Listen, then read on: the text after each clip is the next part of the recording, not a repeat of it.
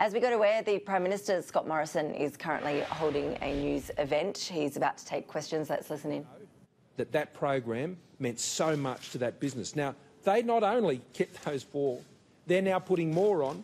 They've graduated out of JobKeeper and they've got a new contract because they've kept their staff on and they're, they're set. They're set. That's what our plan's doing. Prime Minister, Yep. senior Liberals are scanning by New South Wales Premier Gladys hmm. Berejiklian. Is she the victim in this situation? Gladys has been a tremendous premier and she has my absolute support.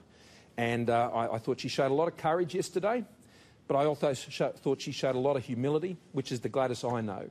You know, we're all human, and particularly in those areas of our lives. And Gladys is an extremely private person and a person of tremendous integrity. She's a great friend. And I know she's been getting many messages of support from her friends and colleagues, including me from yesterday and Jenny. Um, that would have been really tough to have that all out there in front of everybody yesterday.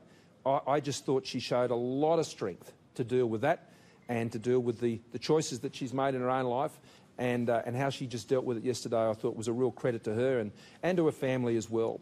And I want to you know, thank uh, particularly Dom Perrottet and Brad Hazzard and the whole team down there in the New South Wales government getting in behind her, and, uh, and certainly they were the messages we sent yesterday. Do you, concede, do you do you concede that she's erred in her judgment by continuing this relationship after? No, no, look, Glad- Gladys has made her statement on that, and I support her in her statement. What I do know is that she's shown the way, particularly when it comes to how to grow uh, a, a- a state like New South Wales and get the balance right between how you're managing COVID and how you're growing your economy.